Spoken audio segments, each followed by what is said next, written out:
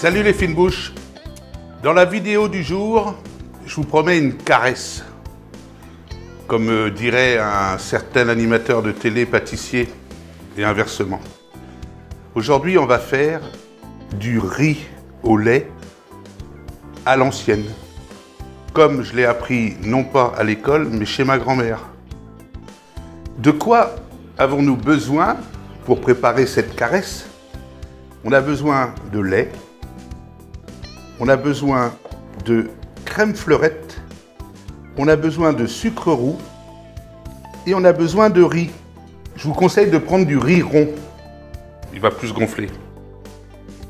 Un bâton, non pas pour se faire battre, mais un bâton de vanille. On va commencer la recette par faire chauffer de l'eau avec une petite pincée de sel. Dès que ça bout, on y met le riz pendant 3 minutes et on va après égoutter le riz.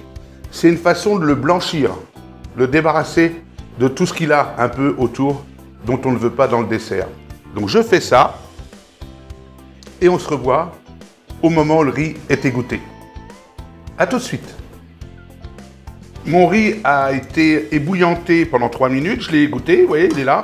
Je prends mon lait dans une casserole, je verse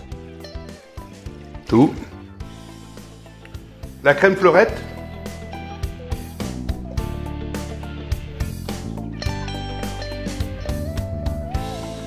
Et je mets à chauffer doucement pour attendre l'ébullition, le début d'ébullition. Pendant ce temps-là, j'ai ouvert ma gousse en deux. Je râpe pour récupérer les petits grains que je vais mettre dedans.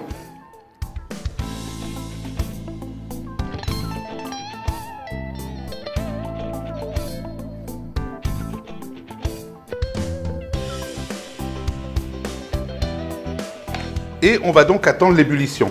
Dès que c'est à ébullition, on revient, c'est dans pas très longtemps. Au moment où le lait, la crème et la vanille commencent, voyez, à frémir, vous mettez le sucre et vous mettez le riz.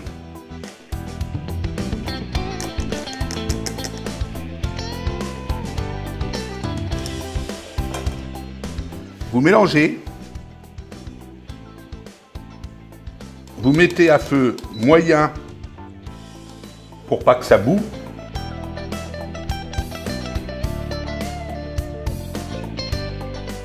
Et maintenant, c'est une question de patience, le temps que ça cuise. Vous verrez, le riz va gonfler, le lait va diminuer. Il y a un moment, quand le riz sera cuit, vous aurez presque plus de jus, encore un petit peu, mais presque plus. Et là, c'est le moment où on se retrouve. A tout de suite, les amis.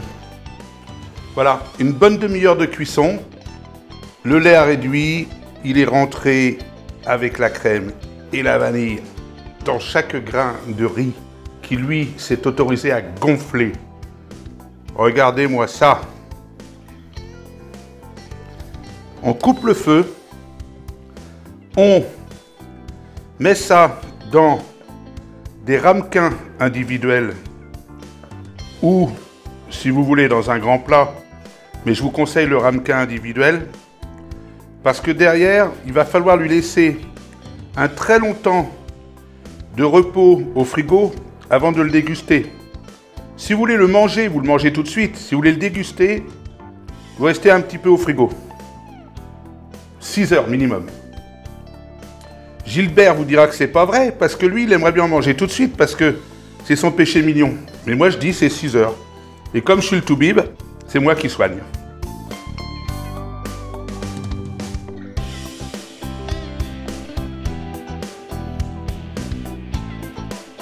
Voilà, riz au lait, comme ma grand-mère le faisait. Vous avez vu, hein, un tout petit peu de travail au début, puis après, ça cuit tout seul. Maintenant, on va le laisser un peu refroidir. Dans une demi-heure, le mettre au frigo.